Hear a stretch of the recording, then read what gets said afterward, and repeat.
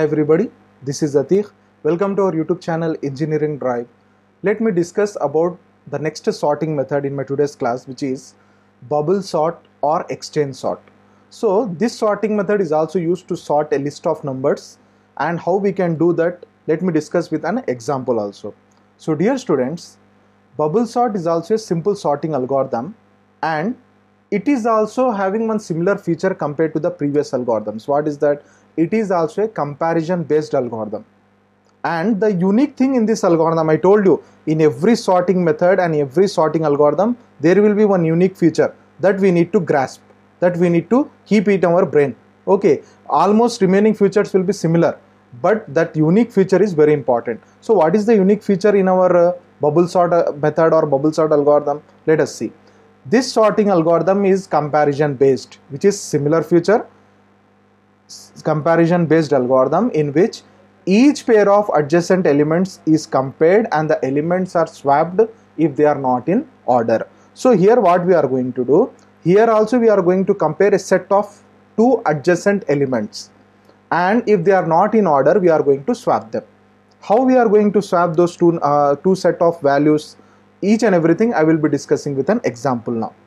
Okay and this bubble sort or exchange sort algorithm is also not suitable for large set of numbers like I told selection sort, insertion sort. Similarly, bubble sort is also not suitable for the large set of numbers.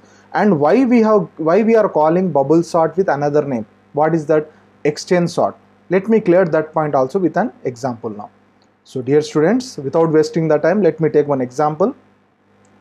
Sort the following list of numbers using bubble sort. Or in exam they will ask you sort the following list of numbers using exchange sort so don't think you, you got out of syllabus question.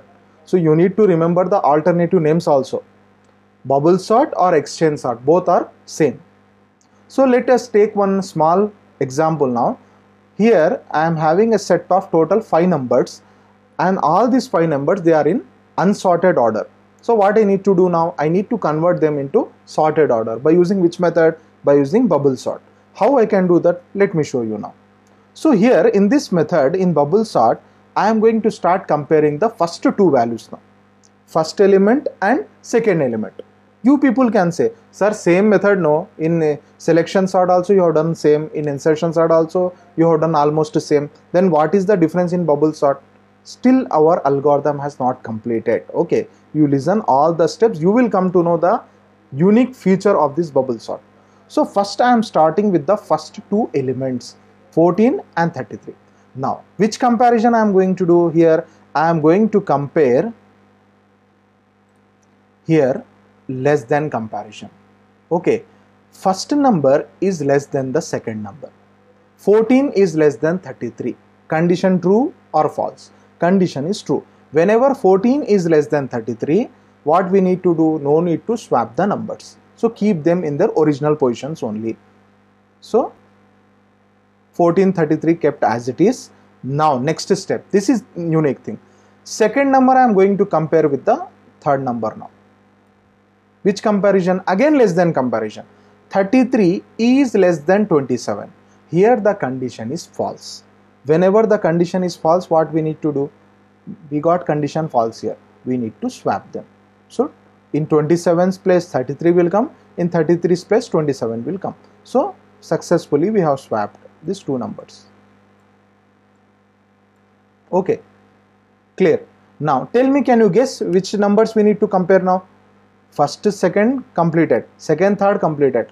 Third number now we need to compare with the fourth number which is 33 we need to compare with 35 now let me take you to the next slide yes 33 and 35 I am going to compare now. Okay which condition again? Carefully remember less than condition only. Either in selection sort or insertion sort or even in bubble sort. Same condition we are using less than condition. So what we are going to do here? We are going to compare these two numbers 33 and 35 33 is less than 35 condition true. So that's why no need to swap. Now which numbers we need to compare? 35 and 30 35 and 10 35 is less than 10 condition false yes what we need to do swap the numbers so here condition is getting false. So that's why we need to swap. So once we swap, what we will get the answer? We get this answer 10, 35. At uh, 35th position, 10 will come and in 10th position 35 will come. So this is after iteration 1. You know what is the meaning of iteration 1? After one round or after one entire circle of step we got this set of numbers. Okay sir this is the answer sir? No. We have completed one step here. So one iteration or one circular circular repetition has been completed now. Now one cycle has been completed. That's why we are calling this as one iteration. After one first iteration 35 we got in the safe place here. So 35 is in the safe zone now. So in bubble sort, dear students, the largest term number will come on the right side. When we are when we are solving the answer of bubble sort always the largest number will come first on the right side. So we got 35 which is the largest number. You can see here in this entire set which is the largest number 35 so 35 after iteration 1 we got into the safe zone. 35 go, we got into the safe zone now. Now which on we need to start our iteration 2 now so after iteration 2 how we need to start again you know? Except 35 on remaining numbers you do the same steps which i have done here. How? Compare 14 with 27 14 is less than 27 condition 2 no need to swap. 27 is less than 33 no need to swap. Because condition 2 33 is less than 10 condition false. So what we need to do? Swap. So once we swap, swap what happened? 10 will come in 33 position and in 10th position we got we will get 33. So let us see here. So directly have written after iteration 2 we will get this step. Now how many numbers we got in the sorted order now in safe zone? We got two numbers. Both are greater number. Both are biggest numbers. So we got in the order. This is the sublist. Here we are getting this sublist.